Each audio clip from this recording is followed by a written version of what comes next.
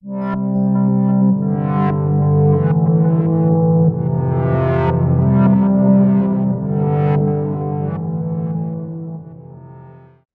hello. I'm Bretton, one of our MCAT tutors here at Inspira Advantage, where we help students get to medical school and other professional programs. Welcome back to MCAT Bites, your go-to resource for mastering MCAT materials. In today's episode, we're exploring the intricacies of respiratory physiology, focusing on the vital processes of gas exchange. This process is fundamental for life, enabling the oxygenation of our blood and the removal of carbon dioxide, a waste product of metabolism. This is a critical topic for both the ChemPhys and BioBiochem sections of the MCAT, so be sure to take good notes and put them into your Anki cards. Let's start with exploring what gas exchange is. Gas exchange is a biologically significant process occurring in the lungs alveoli. The alveoli, or alveoli, are the tiny little air sacs at the very tips of your lungs. So for an overview of quick lung anatomy, we've got the lung, which is this big old lobe here. And if you were to move all of the fleshy bits, you'd get the trachea, which is going down the middle, the bronchial tubes, which are kind of the wider, thick things coming out the side, and that full, is further subsidized into bronchioles,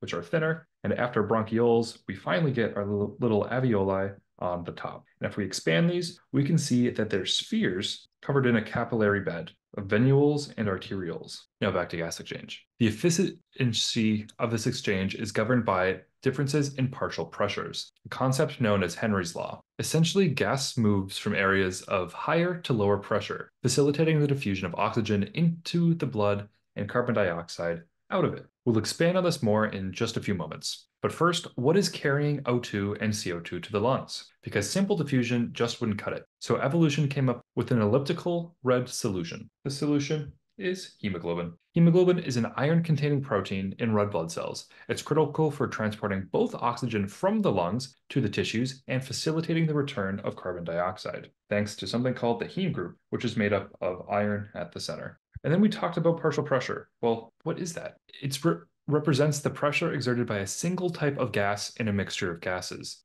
It's the driving force behind gas diffusion. So think about this. When you take a big inhale, I just filled it in with oxygen and nitrogen from the air and very little carbon dioxide. But inside of my lungs already, or surrounding it, I should say, in the capillaries, my muscles have been working hard and produced CO2 as a waste product. So there's more CO2 inside of me than outside of me. Therefore, thanks to partial pressures, that CO2 is going to want to go from my blood into my lungs, ultimately exhaled into the environment. And finally, Henry's law. This highlights the direct relationship between the concentration of gas in a liquid and its partial pressure, explaining how gases dissolve in blood. And if you want to grab a screenshot for your Anki cards, I recommend doing that now. Next up, we've got mechanisms of gas exchange. The journey of oxygen from alveoli to blood and carbon dioxide is the opposite direction. The journey of oxygen from alveoli to blood and carbon dioxide in the opposite direction is facilitated by the alveolar and capillaries walls' thin, permeable nature. The vast surface area of the alveoli ensures an efficient exchange. Oxygen binds with hemoglobin in red blood cells, turning the blood bright red, indicating oxygenation. This oxygen-rich blood travels back to the heart, ready to be circulated into the rest of the body. The body meticulously regulates the diameter of bronchioles and blood vessels to optimize gas exchange. Elevated CO2 levels in the alveoli cause bronchioles to dilate, enhancing the expulsion of carbon dioxide. Conversely, when oxygen levels in the blood are low, pulmonary arterioles dilate, increasing blood flow and oxygen delivery. Now, there are two types of respiration you need to understand for the MCAT. We've got external respiration and internal respiration. External respiration is the gas exchange between the alveoli and blood in the lung. This is what we've been talking about the whole time we are bringing in oxygen and getting rid of CO2. But there's another type of respiration you need to know, which is internal respiration. This is occurring at the cellular level, where tissue in tissues where oxygen is released from the blood into the cells. And at the same time, those cells are working hard, so they are going to get rid of some CO2 and put that into the blood. So be careful when you hear someone talking about respiration. Are we talking about external breathing respiration or internal cellular respiration? Let's end with a practice problem. How might this condition impact the efficiency of gas exchange? Take a few moments, think about this, tell a friend,